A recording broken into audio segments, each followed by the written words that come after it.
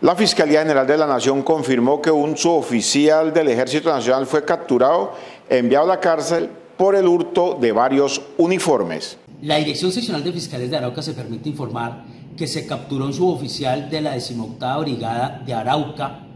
en coordinación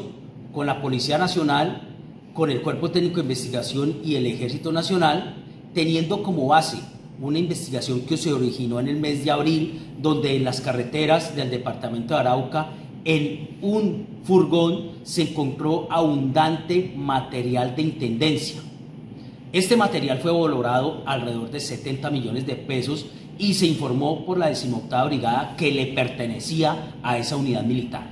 Con base en esa información, iniciamos toda la investigación criminal que dio que este suboficial es presunto responsable de haberse apropiado de este material que es exclusivo del Ejército Nacional.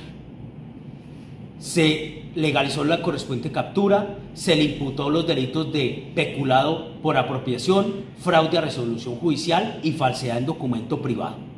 Cargos que fueron aceptados por este suboficial,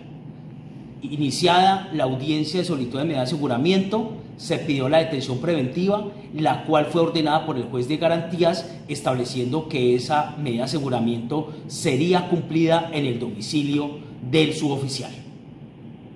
Con base en esta información y esta judicialización, este material de intendencia, teniendo en cuenta la situación de orden público que tiene nuestro departamento posiblemente iba a ser entregado a estos grupos armados ilegales, residuales, y, y esta judicialización permitió evitar en lo más probable que llegara ese material a estas organizaciones criminales. Así las cosas, la Dirección Seccional de Fiscales de Arauca sigue hablando con resultados.